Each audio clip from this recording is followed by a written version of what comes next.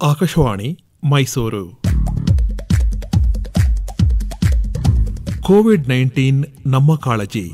ಈ ಕುರಿತು ಹಿರಿಯ ವೈದ್ಯರಾದ ಡಾಕ್ಟರ್ ವಿಜಯಲಕ್ಷ್ಮಿ ಬಾಳೆಕುಂದ್ರಿ ಅವರೊಂದಿಗೆ ಸಂದರ್ಶನ ಸಂದರ್ಶಕರು ದಿವಾಕರ ಹೆಗಡೆ. ಎಲ್ಲ ಕೇಳುಗರಿಗೆ ನಮಸ್ಕಾರ. ಈಗ ನಮ್ಮೊಂದಿಗೆ ಪ್ರಸಿದ್ಧ ವೈದ್ಯರಾದ ಡಾಕ್ಟರ್ ವಿಜಯಲಕ್ಷ್ಮಿ ಬಾಳೆಕುಂದ್ರಿ ಅವರಿದ್ದಾರೆ. ಅವರಿಗೆ ಈ ಕಾರ್ಯಕ್ರಮಕ್ಕೆ ಸ್ವಾಗತ ಹೇಳ್ತೇನೆ. ನಮಸ್ಕಾರ. ನಮಸ್ಕಾರ. ಡಾಕ್ಟರ್ ವಿಜಯಲಕ್ಷ್ಮಿ ಬಾಳೆಕುಂದ್ರಿ ಅವರು ವೈದ್ಯರಾಗಿ, ಅಂಕಣಕಾರರಾಗಿ, ವಕ್ತಾರರಾಗಿ ಸಾರ್ವಜನಿಕರಲ್ಲಿ ಆರೋಗ್ಯ ಜಾಗೃತಿಯನ್ನು ಮೂಡಿಸುತ್ತಾ ಬಂದಿದ್ದಾರೆ. ಪ್ರಸ್ತುತ ನಾವು ಎದುರಿಸುತ್ತಿರುವ ಮಾರಣಾಂತಿಕ ಕಾಯಿಲೆ ಕೋವಿಡ್ ಹತ್ತೊಂಬತ್ತನ್ನ ಎದುರಿಸುವ ಕುರಿತು ಅವರನ್ನ ಮಾತಾಡಿಸೋಣ. ಡಾಕ್ಟ್ರೆ, ಕೋವಿಡ್ ಎರಡನೇ ಅಲೆಯನ್ನ ಎದುರಿಸ್ತಾ ಇದ್ದೇವೆ. ಈಗ ಕೋವಿಡ್ ಪಾಸಿಟಿವ್ ಆದವರು ಅದರಿಂದ ಪಾರಾಗೋದು ಹೇಗೆ? ಉಳಿದವರು ಈ ಕಾಯಿಲೆಯಿಂದ ತಪ್ಪಿಸಿಕೊಳ್ಳೋದು ಹೇಗೆ? ಇಬ್ಬರಿಗೂ ಮಹಾ ಅಸ್ತ್ರ ಅಂತಂದ್ರೆ ಮುಖದ ಕವಚ ಹಾಕೊಳ್ಳೋದು. ಒಬ್ಬ ಸೋಂಕಿತ ವ್ಯಕ್ತಿ ಇದ್ದವನು ಮುಖದ ಕವಚ ಹಾಕೊಂಡ್ರೆ ಆಲ್ಮೋಸ್ಟ್ ಸೆವೆಂಟಿ ಪರ್ಸೆಂಟ್ ಸ್ಪ್ರೆಡ್ ಆಗೋದನ್ನ ಅವರು ಕಡಿಮೆ ಮಾಡಬಹುದು ಆದ್ರೆ ಸೋಂಕು ಇಲ್ಲದೆ ಇರೋ ವ್ಯಕ್ತಿ ಹಾಕೊಂಡ್ರೆ ಕೇವಲ ಅವರು ನೈಂಟಿ ಫೈವ್ ಪರ್ಸೆಂಟ್ ಕಡಿಮೆ ಮಾಡಬಹುದು ಕಾರಣ ಏನಂತಂದ್ರೆ ಒಬ್ಬ ಸೋಂಕಿತ ವ್ಯಕ್ತಿ, ಸೋಂಕು ಇಲ್ಲದೆ ಇರೋ ವ್ಯಕ್ತಿ ಇಬ್ರು ಮಾಸ್ಕ್ ಹಾಕೊಂಡ್ರೆ, ಮುಖದ ಕವಚ ಹಾಕೊಂಡ್ರೆ ಈ ಸ್ಪ್ರೆಡ್ ಆಗೋದಿದೆಯಲ್ಲ ಅದು ತೊಂಬತ್ತು ಪರ್ಸೆಂಟ್ ರಿಂದ, ಅಂದ್ರೆ ಶೇಕಡ ತೊಂಬತ್ತರಿಂದ ಒನ್ ಪಾಯಿಂಟ್ ಫೈವ್ ಇಳಿಯುತ್ತೆ. ಇವತ್ತಿಗೂ ಕಾಲ ಮೆಂಚಿಲ್ಲ. ಇವತ್ತು ಏನು ಲಾಕ್ ಡೌನ್ ಘೋಷಿಸಿದಾರಲ್ಲ, ಈ ಸಮಯದಲ್ಲಿ ಪ್ರತಿಯೊಬ್ರು ಕೂಡ ಸೋಂಕಿತರು ಡಬಲ್ ಮಾಸ್ಕ್ ಹಾಕೊಂಡು ಸೋಂಕು ಇಲ್ಲದೆ ಇದ್ದವರು ಕೂಡ ಡಬಲ್ ಮಾಸ್ಕ್ ಹಾಕೋಬೇಕು. ಮಾಸ್ಕ್ ಯಾವ ತರದ್ದು ಹೇಗ್ ಹಾಕೊಳ್ಬೇಕಂತ ಪ್ರತಿಯೊಬ್ರು ಕಲಿಬೇಕು.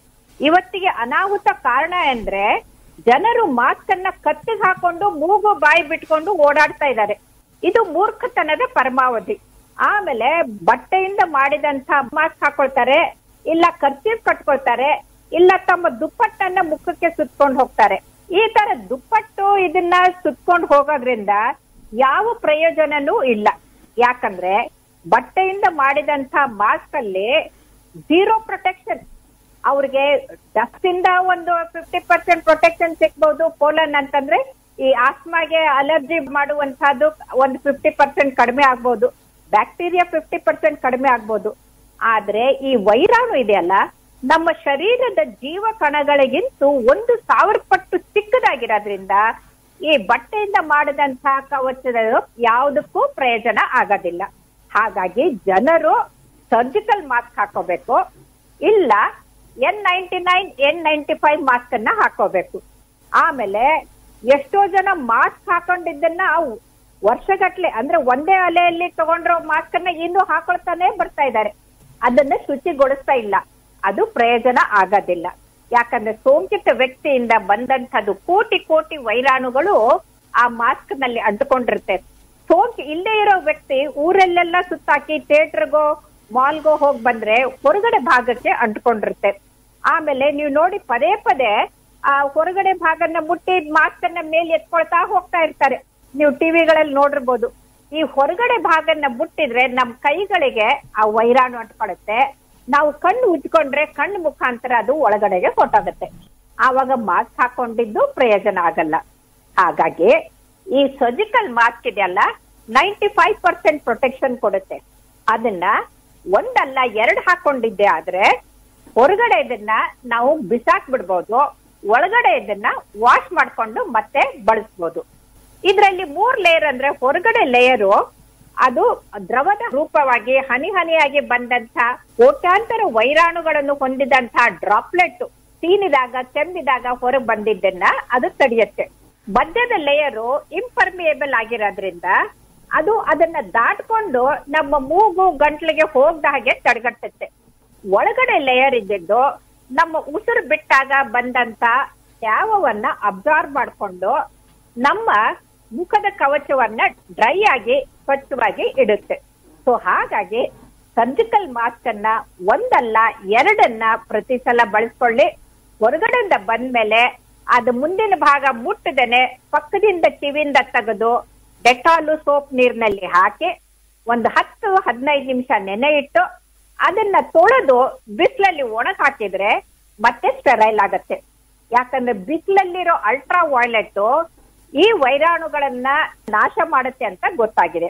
ಹಾಗಾಗಿ ಮುಖದ ಕವಚ ಹಾಕೊಳ್ಳದೆ ಬೆಸ್ಟ್ ವೇ ಆಫ್ ವ್ಯಾಕ್ಸಿನೇಷನ್ ಅಂತ ನಾವು ತಿಳ್ಕೊಳ್ಬೇಕು. ಇಡೀ ಕರ್ನಾಟಕದ ಆರು ಕೋಟಿ ಜನ ಪ್ರತಿದಿನ ತಪ್ಪದೆ ಮಾಸ್ಕ್ ಹಾಕೊಂಡು ಓಡಾಡಿದ್ದೆ ಆದ್ರೆ ಕೇವಲ ಹತ್ತು ದಿನದಲ್ಲಿ ನಾವು ಈಗೇನು ನೈಂಟಿ ಪರ್ಸೆಂಟ್ಗೆ ಏನು ಸೇರ್ಕೊಂಡಿರಲ್ಲ ನಲ್ವತ್ತು ಐವತ್ ಸಾವಿರಕ್ಕೆ ಅದನ್ನ ಕೇವಲ ಒಂದು ಸಾವಿರ ಅಲ್ಲ ಒಂದು ಐದ್ನೂರಕ್ಕೆ ತಂದು ಇಳಿಸ್ಬೋದು ಮೇಡಮ್ ಈಗ ಎರಡನೇ ಅಲೆಯನ್ನ ನಾವು ಎದುರಿಸ್ತಾ ಇದೀವಿ. ಅಂದ್ರೆ ಇದು ಎರಡು ಮೂರು ನಾಲ್ಕು ಹೀಗೆಲ್ಲ ಹೇಳ್ತಾ ಇದ್ದಾರೆ. ಈಗ ಮೂರನೇ ಅಲೆಯೂ ಅಂತ ಬಂದ್ರೆ ಅದು ಇನ್ನೆಷ್ಟು ಘೋರವಾಗಿರಬಹುದು ಅದು ಊಹಿಸೋದು ಕಷ್ಟ ಆಗತ್ತೆ. ಯಾಕಂದ್ರೆ ಎರಡನೇ ಅಲೆಯನ್ನ ನಾವು ಊಹಿಸ್ಕೊಳ್ಳಿಲ್ಲ.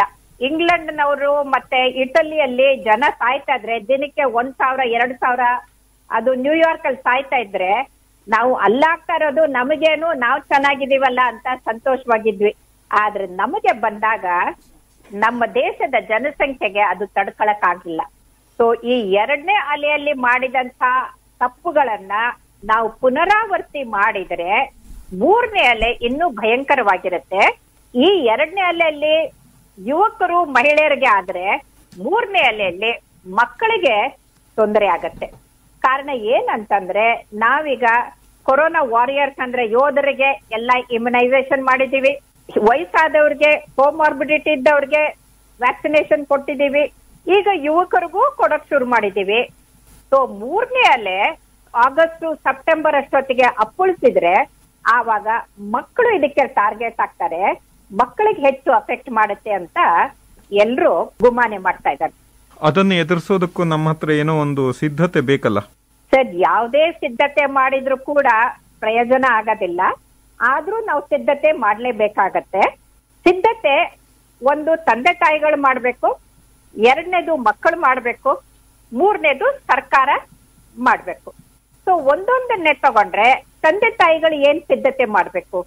ಅವರು ತಮ್ಮ ಜೀವನ ಶೈಲಿಯನ್ನ ಬದಲಾಯಿಸ್ಕೊಳ್ಬೇಕು. ಈಗ ಹೊರಗಡೆಯಿಂದ ಬಂದ ತಕ್ಷಣ ಶೂಗಾಲಲ್ಲಿ ಒಳಗಡೆ ಬಂದು ಅಪ್ಪಪ್ಪ ಅಂದ ತಕ್ಷಣ ಮಗುನ ಹೋಗಿ ಎತ್ಕೊಳ್ಳೋದು, ಮಮ್ಮ ಅಂದ ತಕ್ಷಣನೇ ಎತ್ಕೊಳ್ಳೋದು ಮಾಡಿದ್ರೆ, ಅವ್ರು ಹೊರಗಡೆಯಿಂದ ತಂದಂತ ಮಾರಿ ಮನೆಯಲ್ಲಿರೋ ಮಕ್ಕಳಿಗೆ ಬರುತ್ತೆ. ಹಾಗಾಗಿ ಶೂಸ್ನ ಹೊರಗಡೆ ಬಿಟ್ಟು ಕೈಕಾಲ್ ತೊಳ್ಕೊಂಡು ಮನೆಗ್ ಬಂದು, ಆಫೀಸಿಂದ, ಕೆಲಸದಿಂದ, ಆಸ್ಪತ್ರೆಯಿಂದ ಬಂದಿದ್ರೆ ನೆಟ್ಟಿಗೆ ಬಾತ್ರೂಮ್ಗೆ ಹೋಗಿ ಬಿಸಿನೀರ್ನಲ್ಲಿ ಸೋಪ್ ನೀರ್ನಲ್ಲಿ ಸ್ನಾನ ಮಾಡಿ ಅವರು ಮಡಿ ಬಟ್ಟೆ ಉಟ್ಕೊಂಡು ಮಕ್ಕಳನ್ನ ಮುಟ್ಟಿಸ್ಕೋಬೇಕು. ಇದು ಮೊದಲೇದು. ಯಾಕಂತಂದ್ರೆ ಆ ವೈರಾಣುದ ಮೇಲ್ಗಡೆಗೆ ಜಿಡ್ಡಿನ ಪದರ ಇದೆಯಲ್ಲ, ಆ ಜಿಡ್ಡಿನ ಪದರು ಸೋಪ್ ನೀರ್ನಲ್ಲಿ ಅದು ನಾಶ ಆಗತ್ತೆ.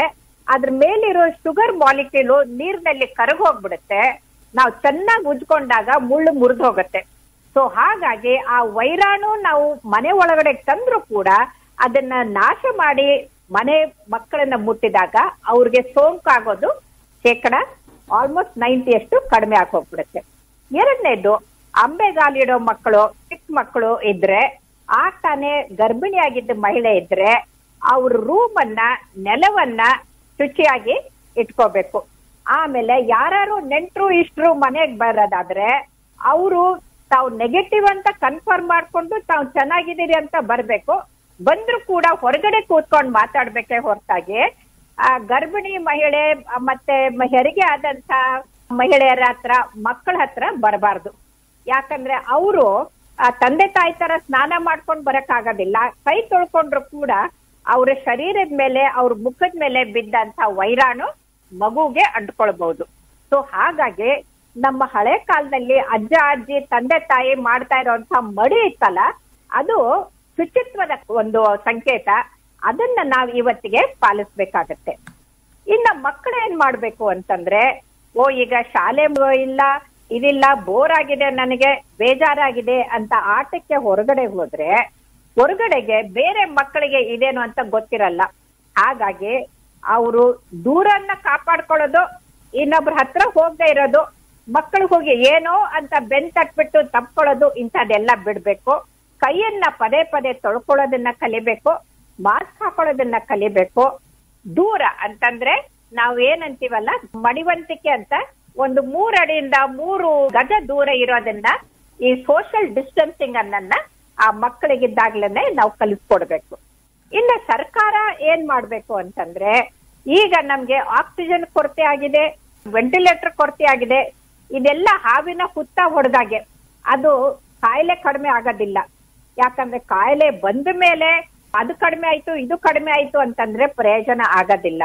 ಹಾಗಾಗಿ ನಮಗೆ ಈ ಅಲೆಯಲ್ಲಿ ಮಕ್ಕಳಿಗೆ ಯಾವ ತರ ಬರುತ್ತೆ ಅನ್ನೋದು ವೈದ್ಯರಿಗೆ ಆಗ್ಲೇ ಗೊತ್ತಾಗಿದೆ. ಹಾಗಾಗಿ ಯಾವುದೇ ಮಗುಗೆ ಜ್ವರ ಬಂದ್ರೆ ತಕ್ಷಣಕ್ಕೆ ಮಕ್ಕಳ ವೈದ್ಯರಿಗೆ ತೋರಿಸ್ಬೇಕು ಅಂತ ಒಂದು ರೂಲ್ ಮಾಡ್ಬೇಕು. ಸೆಲ್ಫ್ ಮೆಡಿಕೇಶನ್ ಮಾಡ್ಕೊಂಡು ಈ ಸಲ ಎರಡನೇ ಅಲೆಯಲ್ಲಿ ಲಕ್ಷಾಂತರ ಜನ ಅದನ್ನ ಸ್ಪ್ರೆಡ್ ಮಾಡಿದ್ದಾರೆ. ಸೊ ಮಕ್ಕಳಿಗೆ ಸೆಲ್ಫ್ ಮೆಡಿಕೇಶನ್ ಮಾಡಕ್ ಹೋಗಿ ಮನೆಯವರೇ ಔಷಧಿ ಕೊಡಕ್ ಹೋದ್ರೆ ಅಲ್ಲಿ ಮಾರ್ಜಿನ್ ಆಫ್ ಏರಿಯರ್ ಕಡಿಮೆ ಇರುತ್ತೆ, ಆ ಮಗುವಿನ ಜೀವಕ್ಕೆ ಕಂಟಕ ಆಗತ್ತೆ ಅನ್ನೋದನ್ನ ಮರಿಬಾರ್ದು. ನೀವೇ ವೈದ್ಯರಂತೆ ಔಷಧಿ ಕೊಡಕ್ಕೆ ಹೋಗ್ಬಾರ್ದು. ಮೂರನೇದು, ಮಕ್ಕಳಿಗೆ ಐ ವಿ ಲೈನ್ ಹಾಕೋದು, ಅವ್ರಿಗೆ ಇಂಜೆಕ್ಷನ್ ಕೊಡೋದು ಬಹಳ ಬಹಳ ಕಷ್ಟದ ಕೆಲಸ. ನಾನು ಪೀಡಿಯಾಟ್ರಿಕ್ ಕಾರ್ಡಿಯೋಲಜಿಸ್ಟ್ ಆಗಿ ನನಗೆ ಗೊತ್ತಿದೆ, ಮಕ್ಕಳನ್ನ ಒಂದು ಹೂವಿನ ಹಾಗೆ ನೋಡ್ಕೊಳ್ಬೇಕಾಗತ್ತೆ ಹಾಗಾಗಿ ಈಗ್ಲಿಂದನೆ ಇಂಟೆನ್ಸಿವಿಸ್ಟ್ ಮತ್ತೆ ಪೀಡಿಯಾಟ್ರಿಕ್ ಇವ್ರನ್ನ ಟ್ರೈನ್ ಮಾಡೋದನ್ನ ಪ್ರಾರಂಭ ಮಾಡ್ಬೇಕು. ಯಾಕಂದ್ರೆ ಯುದ್ಧ ಕಾಲೇ ಶಸ್ತ್ರಾಭ್ಯಾಸ ಅಂತ ಆವಾಗ ನಿಮ್ಗೆ ದಿಢೀರ್ ಅಂತ ಪೀಡಿಯಾಟ್ರಿಷಿಯನ್ಸು ಇಂಟರ್ವೆನ್ಷನಿಸ್ಟು ನಿಯೋನೆಟಾಲಜಿಸ್ಟು ಸಿಕ್ಕೋದಿಲ್ಲ. ಸೊ ಹಾಗಾಗಿ ಈಗ ಪಾಸ್ ಆದವ್ರಿಗೆ ಅವ್ರಿಗೆ ಈಗ್ಲಿಂದನೇ ನಾವು ಟ್ರೈನಿಂಗ್ ಕೊಟ್ರೆ ಒಂದು ಆರು ತಿಂಗಳಲ್ಲಿ ನಮಗೆ ಒಂದು ಒಳ್ಳೆ ಯೋಧರು, ಅಂದ್ರೆ ಮಕ್ಕಳನ್ನ ಸಾವಿನ ದೌಡೆಯಿಂದ ತರುವಂತ ಯೋಧರ ಪಡೆಯನ್ನ ನಾವು ತಯಾರು ಮಾಡ್ಬೋದು. ಹಾಗಾಗಿ ಮಕ್ಕಳ ಐಸಿಯುಗಳನ್ನ ವ್ಯವಸ್ಥೆ ಮಾಡೋದು, ಮಕ್ಕಳ ವೆಂಟಿಲೇಟರ್ ಬೇರೆ ಇದೆ. ಅಡಲ್ಟ್ ವೆಂಟಿಲೇಟರ್ ಅನ್ನ ನಾವು ಮಕ್ಕಳಿಗೆ ಹಾಕಕ್ ಆಗೋದಿಲ್ಲ ಸೊ ಹಾಗಾಗಿ ಅವ್ರ ಎಂಡೋಟ್ರಿಕಲ್ ಟ್ಯೂಬ್ಗಳು ಅದು ಒಳಗಡೆ ಹಾಕುವಂತ ಟ್ಯೂಬ್ಗಳು ಫೆಸಿಲಿಟಿಗಳು ಅದಕ್ಕೆ ಬೇಕಾಗುವಂತ ನೀಡಲ್ಸ್ಗಳು ಪ್ರತಿಯೊಂದು ಕೂಡ ಅವೈಲೇಬಲ್ ಆಗೋ ಹಾಗೆ ಈಗ್ಲಿಂದೆ ನೋಡ್ಕೊಳ್ಬೇಕು. ಇನ್ನೊಂದು ಮುಖ್ಯ ಅಂತಂದ್ರೆ, ಇವರ್ ಲೆಕ್ಟಿನ್ ಅಂತಂತೀವಿ. ಇದನ್ನ ಆಂಟಿ ಎಲ್ಮೆಂಟಿಕ್ ಅಂದ್ರೆ ಜಂತು ಹುಳಿಕೆ ಕೊಡುವಂತ ಔಷಧಿ. ಈಗ ಇದನ್ನ ನಾವು ದೊಡ್ಡವ್ರಿಗೆ ಕೊಡ್ತಾ ಇದ್ದೀವಿ. ಈ ಇವರ್ ಮೆಕ್ಟಿನ್ ಅನ್ನ ನಾವು ಮಕ್ಕಳಿಗೆ ಕೊಡಕ್ ಶುರು ಮಾಡಿದ್ರೆ, ಅವ್ರಿಗೆ ಈ ವೈರಾಣು ಬೆಳೆಯೋದನ್ನ ಕಡಿಮೆ ಮಾಡ್ಬೋದು ಅಂತ ಅನ್ಸುತ್ತೆ. ಹಾಗಾಗಿ ಪಾಲಕರು, ಪೋಷಕರು, ಮಕ್ಕಳು, ಸರ್ಕಾರ, ಮೂರು ಜನ ಸೇರ್ಕೊಂಡು ನಾವು ಮುಂದೆ ಬರುವಂತ ಅನಾಹುತಕ್ಕೆ ತಯಾರಿ ಮಾಡ್ಕೊಂಡಿದ್ದೆ ಆದ್ರೆ ನಾವು ಮಕ್ಕಳನ್ನ ಬಹುಪಾಲು ಅವ್ರನ್ನ ಉಳಿಸಬಹುದು ಡಾಕ್ಟರ್ ವಿಜಯಲಕ್ಷ್ಮಿ ಬಾಳಕುಂದ್ರಿ ಅವರು ಬಹಳ ವಿವರವಾಗಿ ಬಹಳ ವ್ಯವಸ್ಥಿತವಾಗಿ ತುಂಬಾ ಸರಳವಾಗಿ ನಮಗೆ ತಿಳಿಸಿದ್ದಾರೆ. ಮೂರನೇ ಅಲೆಯನ್ನು ಕೂಡ ನಾವು ಹೇಗೆ ಎದುರಿಸಬೇಕು ಹೇಗೆ ತಯಾರಿ ಮಾಡಿಕೊಡ್ಬೇಕು ಅಂತ ಇಷ್ಟು ಸಮಯವನ್ನ ನಮಗಾಗಿ ಕೊಟ್ಟಿದ್ದಕ್ಕೆ ಅವರಿಗೆ ಎಲ್ಲರ ಪರವಾಗಿ ಧನ್ಯವಾದ ಹೇಳ್ತೇನೆ. ನಮಸ್ಕಾರ. ಎಚ್ಚರಿಕೆ ವಹಿಸ್ಕೊಳ್ಳಿ. ಎಲ್ಲಿ ಜಾಗರೂಕತೆ ಜಾಗೃತೆ ಇರುತ್ತೋ ನಾವು ಸಂಕಲ್ಪ ಮಾಡಿದ್ದೆ ಆದ್ರೆ ಈ ಕೊರೋನಾನ ಸೋಲ್ಸಕ್ಕೆ ನಾವೆಲ್ಲರೂ ಯೋಧರಾಗ್ಬೋದು. ನಿಮ್ಗೆಲ್ರೂ ಶುಭವಾಗ್ಲಿ. ನಮಸ್ಕಾರ. ಇದೀಗ ನಮ್ಮ ಸಮಯ ಬಂದಿದೆ. ಕೊರೋನಾ ಸೋಂಕನ್ನ ತಡೆಗಟ್ಟುವ ಸಮಯ. ನಮ್ಮ ನಾಳಿನ ಬದುಕಿಗಾಗಿ ಮಾಸ್ಕ್ ಧರಿಸಿ ಸಾಮಾಜಿಕ ಅಂತರ ಪಾಲಿಸೋಣ.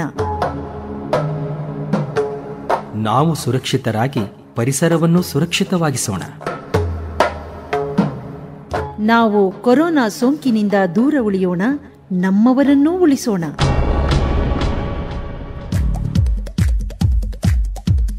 ಕೋವಿಡ್ ನೈನ್ಟೀನ್ ನಮ್ಮ ಕಾಳಜಿ.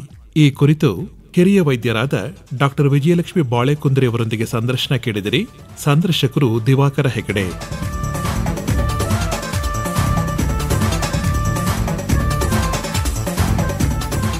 ಈ ಕಾರ್ಯಕ್ರಮ ಆಕಾಶವಾಣಿ ಮೈಸೂರು ಕೇಂದ್ರದಿಂದ ಮೂಡಿಬಂತು.